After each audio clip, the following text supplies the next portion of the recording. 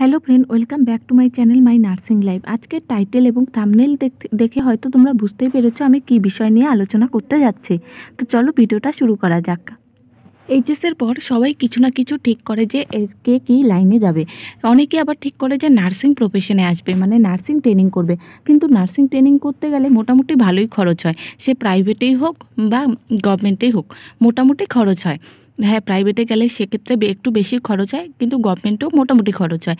কিন্তু সেই পড়ার যদি কারও সামর্থ্য না থাকে, সে পড়বে কি করে? তো তাদের জন্য আমি বলে রাখি যে নার্সিংয়ে কিন্তু একটা স্কলারশিপের ব্যবস্থাও আছে। বছরে বছরে তোমরা সেই স্কলারশিপটি পাবে এবং আড়াই বছর কমপ্লিট হয়ে যাওয়ার পর তোমরা একটি মান্থলি স্টাইফেনও পাবে।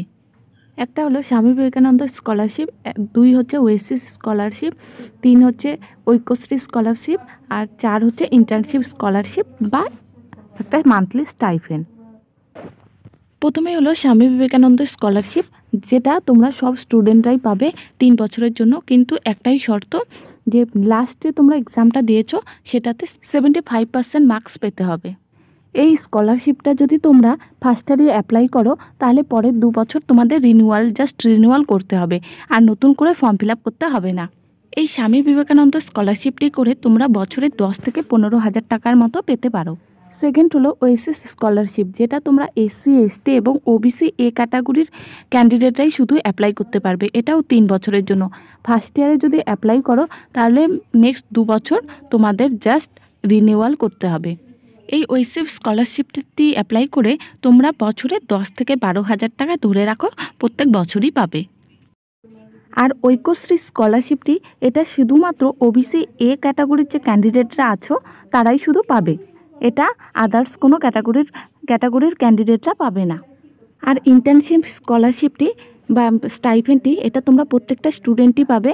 আড়াই বছর ট্রেনিং করার পর ছয় মাস যে আছে, সেই ছয় মাসের ইন্টার্নশিপ পিরিয়ড হিসাবে তোমরা এই টাকাটা পাবে। সেটা প্রত্যেকটা কলেজের রুলস রেগুলেশনের উপর ডিপেন্ড করবে। যদি তোমরা কেউ সরকারি হাসপাতালে মানে সরকারি নার্সিং ট্রেনিং স্কুলে ট্রেনিং করো, তাহলে ধরে রাখো ছয় মাস তোমরা প্রত্যেক মাসে চার হাজার টাকা করে পাবে। মানে ছয় মাসের জন্য তোমরা চব্বিশ হাজার টাকা পাবে। কিন্তু প্রাইভেট স্কুলে বা প্রাইভেট ট্রেনিং স্কুলে তোমরা যদি ট্রেনিং করো, সেক্ষেত্রে সেটা প্রাইভেট স্কুলের ওপর ডিপেন্ড করবে যে সেই টাকাটা তোমাদের দেবে কি না তাহলে আজকের ভিডিওতে তোমাদের অনেকটাই চিন্তা দূর করে দিলাম। হয়তো তোমরা ভাবছিলে যে চান্স পেয়েছি, কিন্তু টাকার জন্য নার্সিং পড়তে পারছি না। তাদের জন্য এটা খুবই একটা সুখবর হতে পারে যে নার্সিংও স্কলারশিপ পাওয়া যায়, সেটাতে তোমাদের অনেকটাই হেল্প হবে। হ্যাঁ কিছু টাকা বাড়ি থেকে নিতে হবে, কিন্তু কিছু টাকা তোমরা ওখান থেকেই পেয়ে যাবে। তাহলে আজকে এই পর্যন্তই, দেখা হবে পরের দিন আরও নতুন কোনো ভিডিওর সাথে।